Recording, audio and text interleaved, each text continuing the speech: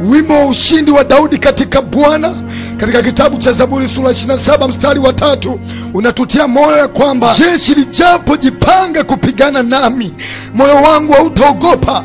Pointi yangu ya msingi ni moyo kuogopa. Kwa nini moyo wangu uogope vita? Adui anatumia tekniki ya kwanza kuweza kuzurumu ushindi wako, kukuwekea roho ya hofu, kukuwekea roho ya woga, kukuwekea roho ya kuogopa. Ile roho inasababisha uende kushindwa kupigana. Mtume Paulo alitambua kwamba mwanadamu anaishi katika maeneo matatu.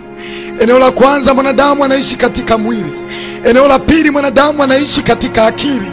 Eneo la tatu, mwanadamu anaishi katika roho. Haya maeneo matatu ni maeneo muhimu sana kwa mwanadamu, na shetani anayatumia haya maeneo kuweza kupigana na mwanadamu.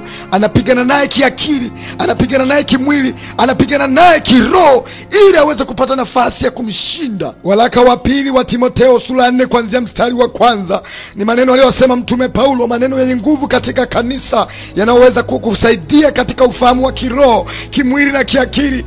Mtume Paulo anasema katika kitabu cha Timotheo wa pili sura nne mstari wa kwanza na kuagiza mbele za Mungu na mbele za Kristo Yesu atakaye wahukumu walio hai na waliokufa kwa kufunuliwa kwake kwa ufalume wake, lihubiri neno, uwe tayari wakati unaofaa na wakati usiofaa, karipia, kemea na kuonya kwa uvumilivu wote na mafundisho, maana utakuja wakati watakapoyakataa mafundisho yenye uzima, ila kwa kuzifuata nia zao wenyewe watajipatia walimu makundi makundi, kwa kuwa wanao masikio ya utafiti, nao watajiepusha wasisikia yaliyo kweli na kuzigeukia hadithi za uongo.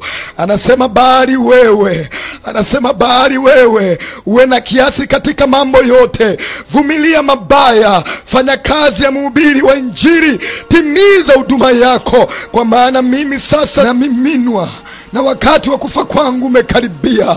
Anasema ya kwamba nimevipiga vita vilivyo vizuri, mwendo nimeumaliza, imani nimeilinda. Mtume Paulo anatukumbusha kwamba tuko vitani kwa namna yoyote ile, lazima ujiandae kuilinda imani yako. Adui anachokifanya ni kukupotezea imani, adui anachokifanya ni kuondoa imani kwako, ni kukuletea mahubiri atakayoweza kuchochea moyo wako kumwacha Kristo, ni kukuletea vitisho, ni kukuletea mazingira ambayo utaona kabisa kwamba mimi sifai, mimi siwezi, mimi nisistahili. Lakini anasema ya kwamba katika kipindi chote hicho ni lazima ulinde imani katika vita unaopitia. Anasema vumilia mabaya. Anajua kuna wakati tunauziwa, kuna wakati tunanyanyapawa, kuna wakati tunasimangwa, kuna wakati tunaumizwa, lakini anasema vumilia mabaya, timiza kazi ya mhubiri. Kuna wakati unaweza ukapitia mazingira magumu, unapitia shida, mateso, aza, lakini anasema vumilia mabaya. Anasema vumilia mabaya. Kumbe kuna wakati utapitia mabaya, kumbe kuna wakati utapitia magumi,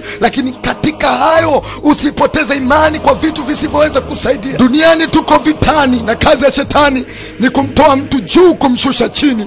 Kazi ya Mungu ni kumtoa mtu chini, kumpandisha mtu juu. Ni lazima ujue nafasi yako ni nini, ni lazima ujue majira haya ni majira gani. Ukijua majira haitakusumbua. Kuna wakati adui shetani anakuletea picha za vitisho, anakuletea mahubiri ya vitisho. Acha nikwambie, tulio ndani ya Kristo hatupigani vita ili tushinde, yaani tunapigana vita ili kuchochea nafasi zetu, maana Kristo alishatushindia. Yaani unapoingia vitani, wewe ni mshindi, maana Kristo alishashinda kifo na mauti, hata sasa yuko hai. Kwa hiyo vita yetu tunayopambana ni kuimarisha misuli ya kiroho, lakini sio kupambana ili tushinde, maana ushindi wetu tulisha upapo. Waefeso 6 mstari wa kumi na mbili Biblia inasema kwamba kwa maana kushindana kwetu si juu ya damu na nyama, bali ni juu ya falme na mamlaka, juu ya wakuu wa giza hili, juu ya majeshi ya pepo wabaya katika ulimwengu wa roho. Kumbe adui anaanza kututafuta katika ulimwengu wa roho, na katika ulimwengu wa roho ndiko kwenye ushindi. Hacha nikwambie neno moja mwanangu, usikubali adui shetani akakushinda katika ulimwengu wa roho. Usikubali nafasi yako ukaipoteza katika ulimwengu wa roho. Mazingira anaweza kawa yanakupelekea kushindwa, adui akakuondolea nafasi ya kuomba, adui akakuondolea nafasi ya kumtafuta Mungu. Usikubali kulala bila kuomba, usikubali kuishi bila kuomba. Usikubali kuishi bila kusoma neno la mungu. Maana ndiko kwenye ushindi wetu. Unaweza ukatengenezewa mazingira magumu ili ushindwe kumtafuta mungu. Lakini kwa namna yoyote ile mtafute mungu. Maana ndio ushindi wetu unapatikana huko. Wacha nikuombee bwana yesu nasema asante kwa ajili ya mtu huyu ambaye nilikuwa naye katika mafundisho haya.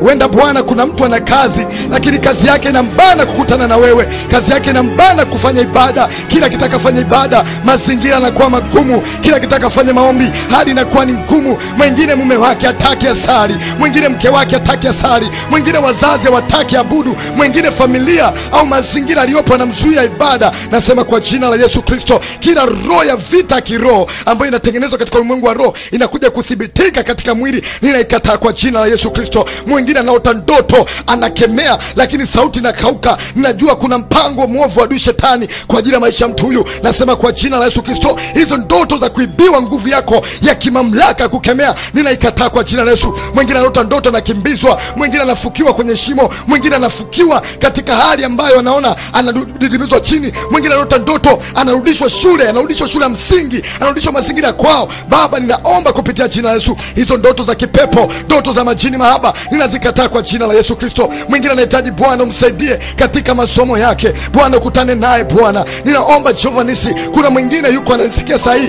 lakini bwana ameandikiwa magonjwa. Kila anapoenda hospitali magonjwa ni mengi. Mwingine akienda hospitali magonjwa yaonekani ni roho za kipepo. Najua katika ulimwengu wa roho kuna adui anafanya uharibifu ili kuweza kuzuia kitu chake. Leo nakemea hiyo roho itoke kwa jina la yesu. Kila maungamo ya kipepo kila mikataba ya giza ninaivunja kwa ajili yako. Kuna mwingine amekamatwa katika ufahamu haoni kazi ya kufanya haoni biashara haoni kitu cha kufanya. Ninaivunja hiyo roho katika jina kuna mwingine bwana kila akitaka ingie kwenye maombi anasikia uzito anasikia uoga anasikia usingizi wa ajabu. Hiyo madhabahu ya roho ya kipepo toka kwa jina la yesu. Ninakukataa mwachie mtu huyu achia moyo wake. Kuna mwingine bwana anasikia kama kuna jiwe katika kifua. Mwingine anasikia mgongo ni mzito. Mwingine anasikia maumivu. Kuna vitu vinatembea tembea mwilini. Kuna wadudu wanatembea tembea kwenye nywele kwenye kichwa. Nasema hiyo roho ikuchomoke. Mwingine miguu inawaka moto. Mwingine anasikia presha ya ajabu. Mwingine anasikia maumivu. Anasikia tu uchungu. Anasikia kuumia. Nasema kwa jina la yesu mungu akupe amani. Mungu akupe uhuru kwa jina la yesu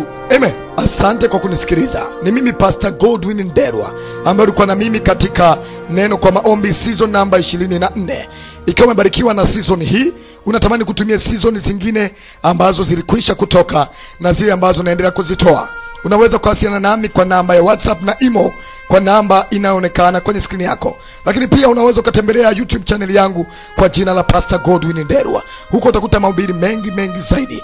Mungu akubariki